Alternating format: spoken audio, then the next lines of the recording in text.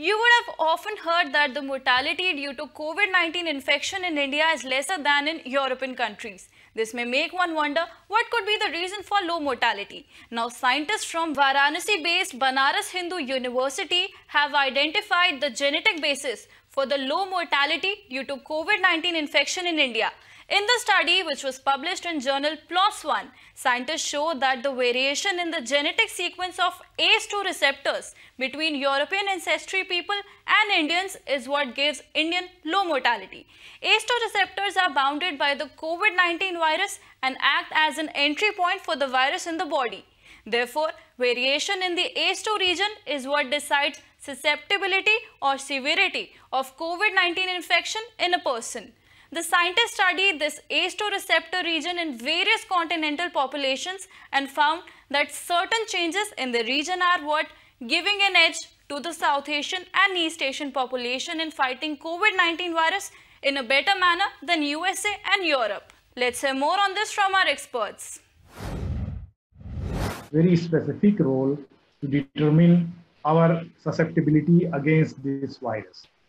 And there was three more research which came and said that the entry of this virus, there is like the virus entry to the human was due to a gene uh, and the gene was playing as a role of the gateway. So there is a gateway for this virus to enter into the human body.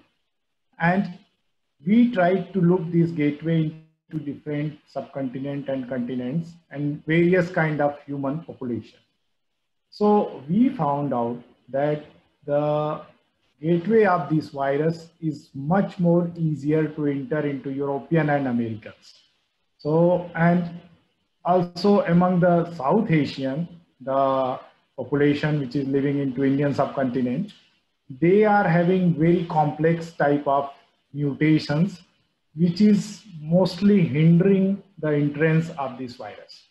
And the structure of this gateway is very similar to the Southeast Asians as well as the East Asian population. And when we look to the different cases present into various subcontinents, various countries, we found out that our observation was perfectly matching with the various level of infection, various level of death rates into all different countries. So we found out that the Indians, around 60% of the Indians living from east to west, north to south, they are having some unique kind of mutations that is called a haplotype into the genetic uh, terminology. So this haplotype is usually protecting people from being infected to the coronavirus. That's all for now. You can share your feedback and suggestions to us on the email ID flashing on your screens. And for more such videos, download India Science app or visit our website www.indiascience.in. And do not forget to follow us on social media.